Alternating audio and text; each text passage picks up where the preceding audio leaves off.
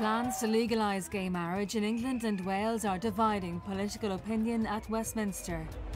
Here, the controversy is just as bitter. For some, same sex marriage is a civil right denied. In terms of politics, yeah, completely second class, yet we pay taxes like everybody else. Gay couples here want the right to marry and to be allowed to apply to adopt. What would you teach your children about sexuality? I would teach them very simply at a young age that some people like boys, some people like girls. Some churches accept gay marriage. We support the full emancipation of same sex couples. There'll be no shame in our home, and Maya will not have to deal with shame and embarrassment. But others stand opposed. It's not a matter of dogma, it's pure human reason. Uh, and just because people claim something is about equality doesn't mean it actually is. We investigate if a new fault line is opening up across politics and society here. There's a real need for our politicians to leave their own religious beliefs at home. So, who does a loyalist lesbian vote for? Is this a question? If the most important thing to them is same sex marriage, and I suspect that the UP aren't their best option.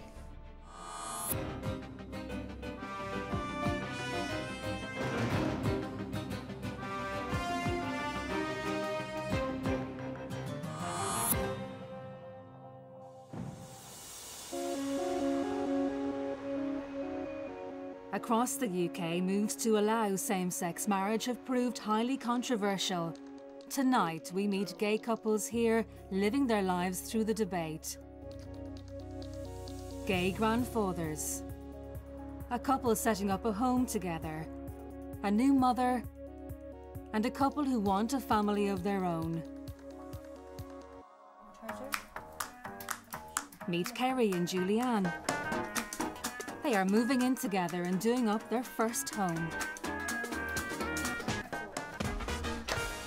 Hiya. Hello, Julianne. Hi, how are you? How are you? Good, thank you. Up Thanks their very eyes, much. as usual. wow. you see, you've done powerful work here, have you? Yeah, well, they've been in two weeks. Um, the kitchen walls have to be finished and it's to go back in. Okay. And the gas is going in this week and then the staircase, and that's us. When did you realise growing up that you were attracted to, to women and to girls your age? It was really gradual. Even at 11, that's sort of age when you start getting boyfriends, and I just had no interest. And what about you, Julianne? When did you come out? I, I was very much the same as Carrie, although I kind of came to grips with it at the age of 14 Mm. and told my parents, but didn't take it as well as I would have liked. But What happened? um, well, their mum was extremely supportive. I, I think it was me personally that couldn't really cope with it. Um, and I think that was just more or less that it wasn't really seen as normal. Do you want to show me upstairs? Yes, let's go. Super. Thank you. Mine's right here on this. Oh, yeah. There's leads here. What's going on here? Carrie's shrine to her shoes. Oh, wow. Um, we ran out of space for my shoes. Julianne was saying I'd wanted to build wardrobes in the front room, but I wasn't allowed. Do you have a whole box full I of have shoes a box here? there, and I have a suitcase of summer shoes. What size shoe are you? Two. What are you, Julianne?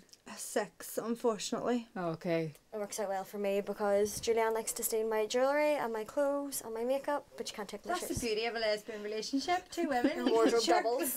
You can't Instantly. touch your shoes.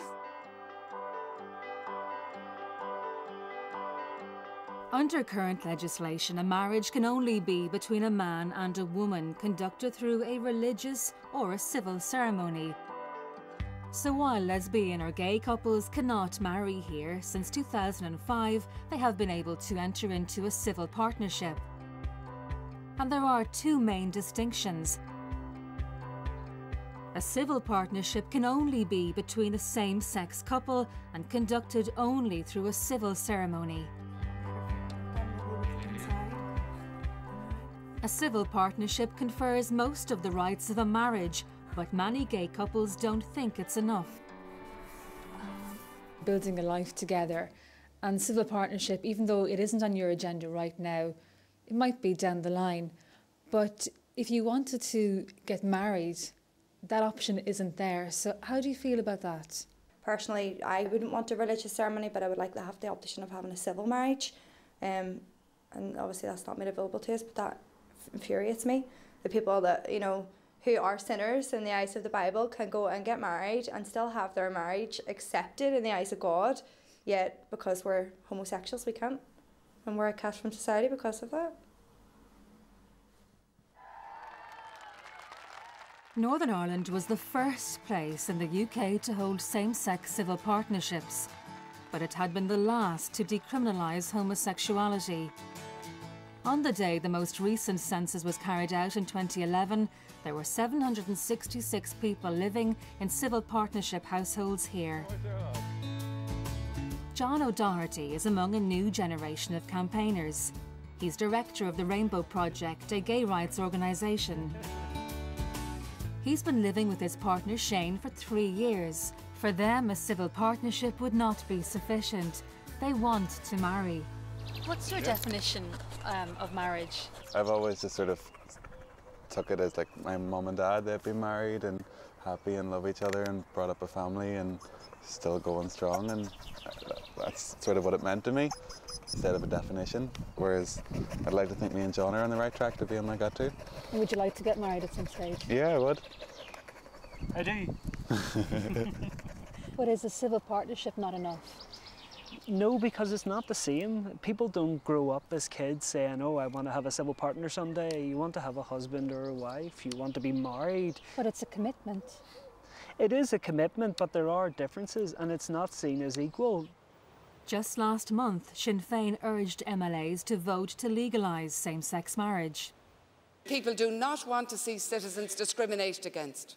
They are changing because our lesbian, gay, bisexual, and transgendered communities have said enough is enough. The move to legalise same sex marriage mobilised churches to intervene. Well, we believe that the current legal definition of marriage as between one man and one woman, with its historic and biblical basis, is uh, a fundamental building block of society. Both the Presbyterian Church, the largest Protestant denomination here, and the Catholic Church petitioned all MLAs to oppose the motion. We say that homosexual acts are inconsistent with a Christian view of life, they're inconsistent with the natural law uh, and the intention and purpose of our sexual capacity. Proponents of gay marriage have framed much of the debate as an issue of equality but those against argue that same sex marriage can never be equal to marriage between a man and a woman. In fact, you can't say these two things are the same. While it's a very powerful and emotive word, equality, and an important word, it doesn't apply. With respect, the word equality doesn't apply in this case because it just doesn't suit your dogma. It's not a matter of dogma, it's pure human reason. Uh, and just because people claim something is about equality doesn't mean it actually is. We don't argue this matter simply as a matter of religion. Marriage, irrespective of religion, has always been recognised by society as a fundamental institution on which the state and society is based. So when one looks at the continuum and the social justice and God's love working. But gay marriage is not opposed by all churches here. Chris Hudson is a Unitarian minister of All Souls Church in Belfast. Then it is obvious that we support the full emancipation of same sex couples in our society. By law, he is unable to marry a gay couple, but he does offer blessings to those who've entered into a civil partnership. Today, he is holding a naming ceremony for a lesbian couple's baby. We give to you the name Maya Ruth Tabakan. Are you preaching from the text of the Bible here? Well, I believe I am. God's love is not exclusive and includes all people in all forms. Let it become a name honoured and respected for wisdom and good deeds. We've got to remember that the, the apostles and the disciples uh, and the evangelists, they were talking about God's love within the context of the culture they knew. We are not of their culture. If more people agreed with your interpretation of the scripture, wouldn't there be crowds and crowds of people coming here? You can't judge people's faith by whether they attend a church. I'd love to see them queuing outside my church to come in.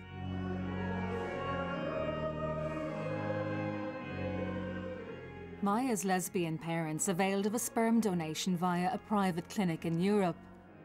Having a child was something Paula, Maya's birthing mother, had always wanted. Paula also wanted a religious ceremony to celebrate her daughter's birth. Well, I personally am deeply religious and I wanted a blessing done with, with God.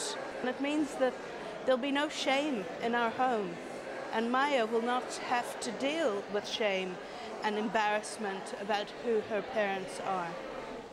However, Paula's partner chose to remain anonymous. There is um, the problem of my partner who can't be identified. This is due to, um, to having an elder, elderly family, and we don't want to, uh, to cause any disruption there. I'm going to run out the door with her, Paula. Isn't she gorgeous? Do you, the congregation, promise to commit yourselves to support this family and Maya Ruth?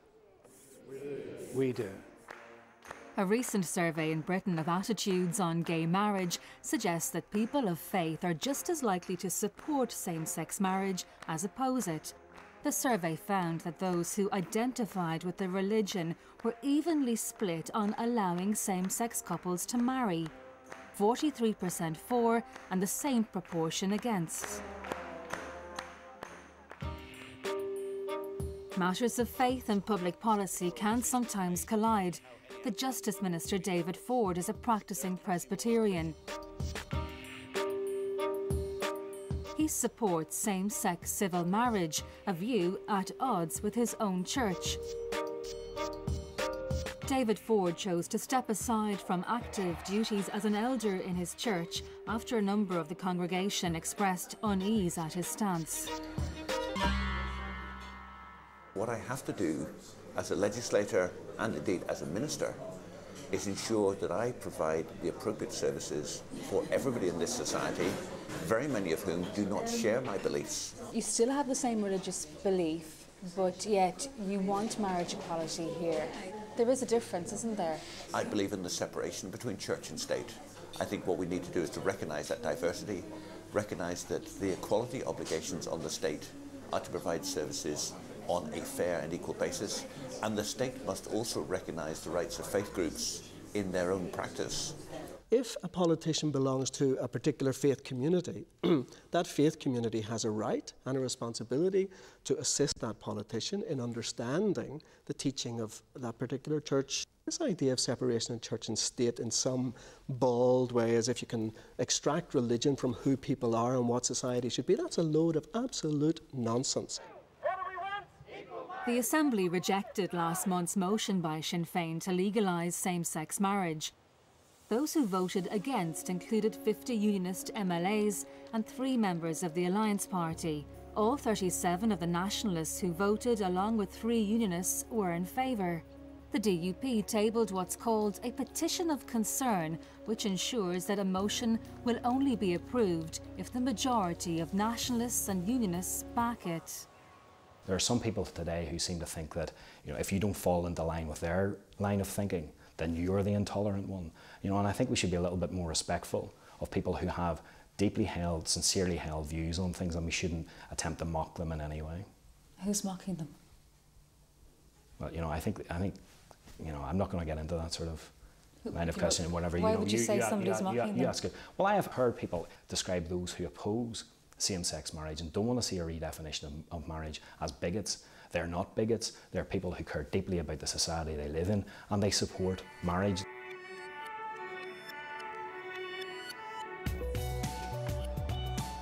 For Kerry and Julianne, the politics of the debate has posed a particular problem. They are lesbian loyalists, which causes them a big dilemma when it comes to deciding who to vote for. What about the DUP? I mean, they obviously want to stay in the union. Okay, they're not pushing Do for they? equal rights. That's the thing, do they? On certain things, yes, but like everything. What do you mean? They want to be British, but they don't want to fall in line with British law. In Northern Ireland, we're about 30 years behind the rest of the UK. So who does a loyalist lesbian vote for? This is the question. At the minute, there's you literally can't be gay and a loyalist. We met two loyalist lesbians during the course of making this programme, and they say, you know, who do we vote for? Well, you know, it, it depends on what issue is most important in their lives and But what if- they want if to it's vote for. marriage equality, You know, if- if it's I- equality? and I haven't, I have yet to meet anybody who votes on a single issue. Political analysts say this single issue has revealed signs of a new political religious fault line. It's an issue which has crossed religious divides. Uh, it's perhaps um, made for unusual alliances. Um, it's maybe giving people a glimpse of a different type of politics which doesn't automatically fall into um, Protestant and Catholic boxes. France last weekend became the ninth country in Europe to legalise gay marriage. Closer to home this week, MPs have been fiercely debating whether to legalise it in England and Wales. And it's also on the radar in Scotland and the Republic. It's on the agenda of the government in the south, Scotland, Wales, and England. And of course, it should be on the agenda.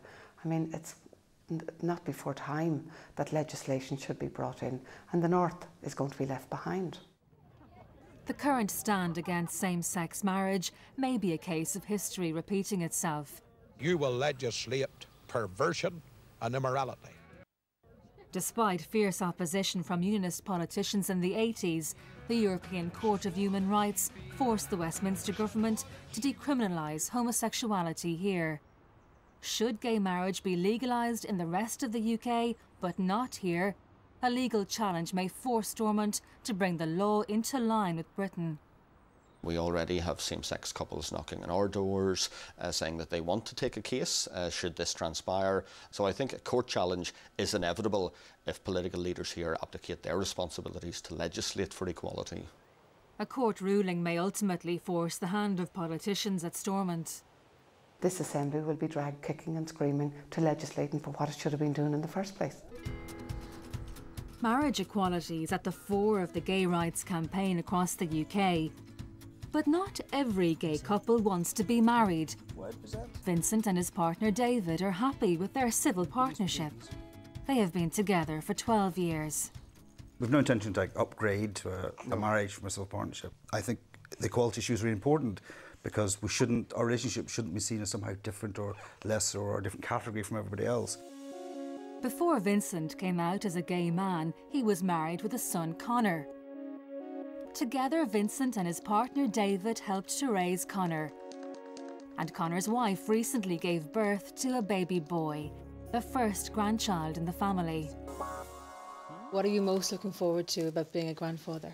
That time, you know, in a few months where he's started to walk and you're you've got his wee hand and he's walking down the street or you go to a park. It's all new to me. Um, changed my first nappy was it last week or so mm-hmm. and uh, learning sort of how to feed it, but it's fantastic I absolutely love it um, it's, it's an opportunity I think I never thought that I would ever have Vincent, some people would look at you as a gay couple with your grandchild and think there's something wrong with that.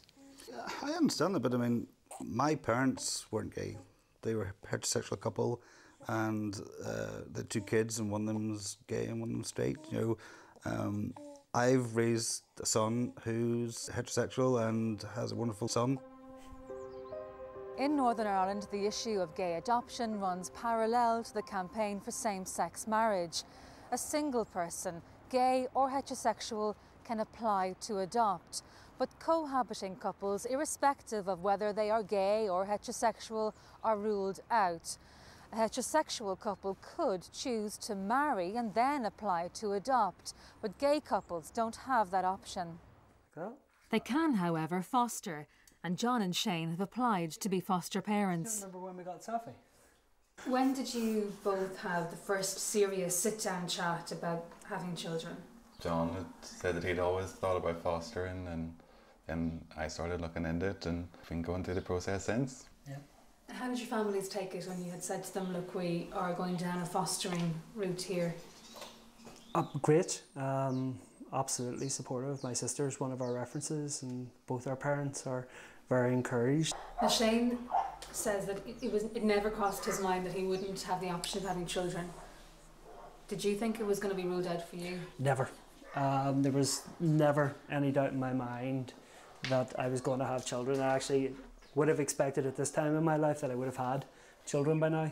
I find it really hard um, that people who don't know me, who've no idea anything about me, about my family, about my upbringing, decide that I'm not suitable to be a parent. it it baffles. It really does. What about you, Shane? Do you get upset? Sometimes. We've got a great house here, we've got a great relationship, and hopefully we can bring other people in to help enjoy it as well. Northern Ireland is the only part of the UK where unmarried couples are banned from applying to adopt. The Human Rights Commission last year challenged the law, and the High Court ruled that the ban on gay and unmarried couples adopting children is unlawful. That ruling is being appealed by the DUP Health Minister.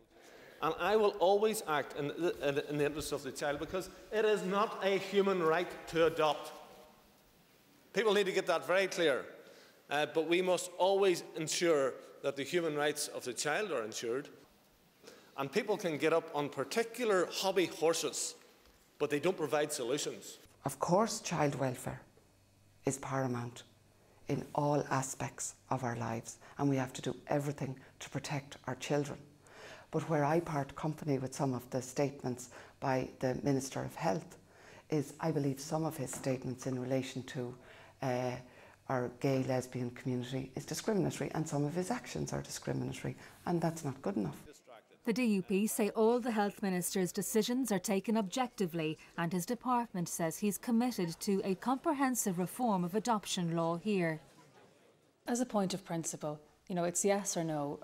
Do you think that gay couples should be allowed to adopt children? They're allowed to foster. Let, us let, let, look at what, what the minister comes forward with in his proposals. What do you he think? Is, he is looking at a very, very comprehensive. You know, I, I think what I think is we should focus far, far less on who is adopting and a focus on, on put a focus on who is being adopted. An Equality Commission survey suggests that overall negative attitudes towards gay people here are decreasing. Nevertheless, 27% of those surveyed said they would mind having a gay person as a neighbour. But when asked if they'd be unhappy if a close relative were to form a relationship with a gay person, the figure almost doubled. 42% said they'd be unhappy. I tested the opinion on the streets of Belfast. Tell me, gay people, should they be allowed to marry? Oh, yes, definitely, yes, I have. I thoroughly disagree with gay marriage. Definitely not. Absolutely, definitely not. It says so in the Bible. Why do you think people might have a problem with this? Um, people maybe are still living in the olden days. One man, one woman. People should have equal rights. Family and what's best for children are flashpoints in the same sex marriage debate. But the generation who have grown up in same sex households also want to contribute to the debate.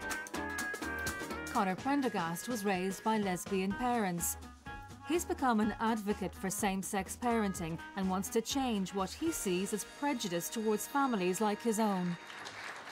Hi everyone, my name is Conor Prendergast and I'd like to talk to you briefly about my family. So there's me, my brother Dara, and my parents Anne and Bernadette. I don't think I feel different because of my family situation. No, not at all. My friends all have different types of families. But the thing that they all have in common is that their parents love them and, and that they love them back, and that's, that's what's really important. I don't feel really a difference there at all. Do you think there's an element of sexism in that some people are comfortable with the idea of children being raised by two mothers, but not so comfortable with them being raised by two fathers? I do. I think there is a, a latent homophobia there. People would probably expect two mothers to raise children perfectly well, but there is the idea that men are not the, the caring, loving parents. Opponents of same sex marriage say society is best served by keeping marriage between a man and a woman. This simply comes back to the idea of what do you make the norm and what is the gold standard for the bringing up of children. The best place for a child to be brought up is in a marriage between its mother and father. But anything less than the gold standard, is that second best? Well, you're putting words in my mouth. I'm just simply saying that this it's what you make the norm in society. The best situation, the situation that society has always respected as special, is that between a woman and a man as mum and dad in a marriage. Overall research into the effect on a child of same sex parenting is not conclusive. The studies are ongoing.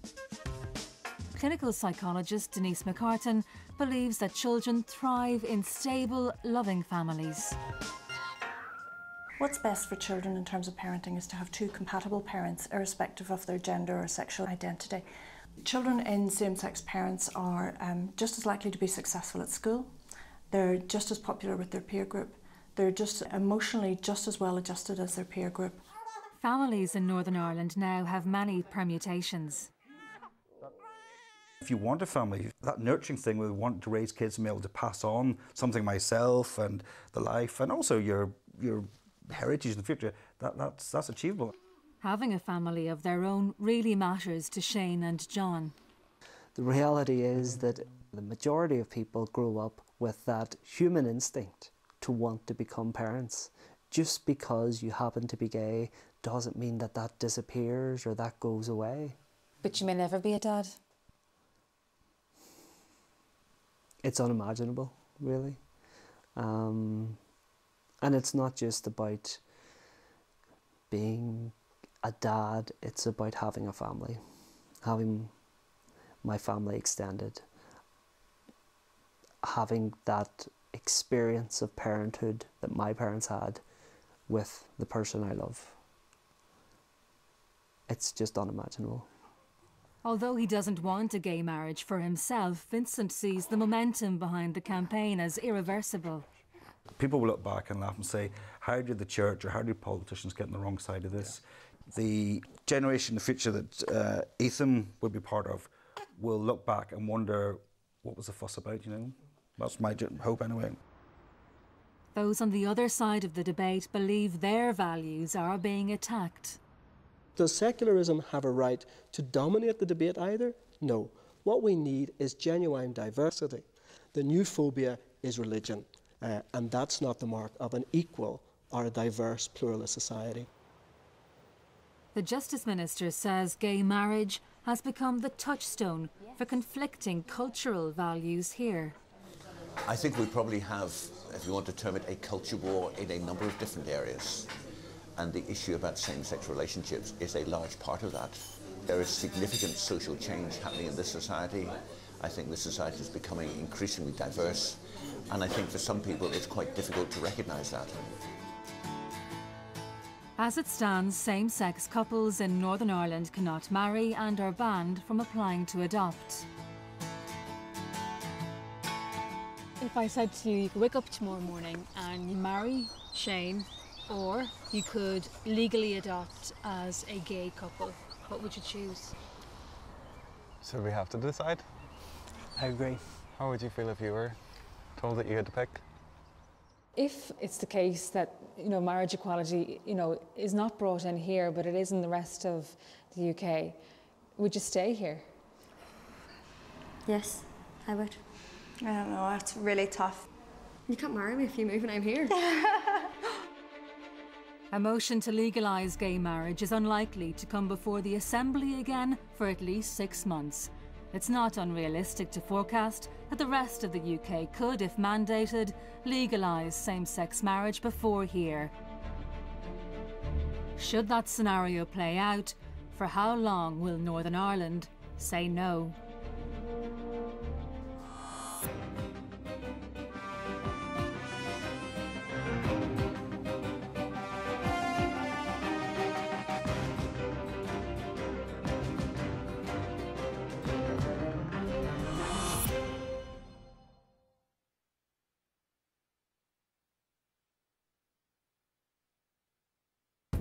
Was the longest campaign of the Second World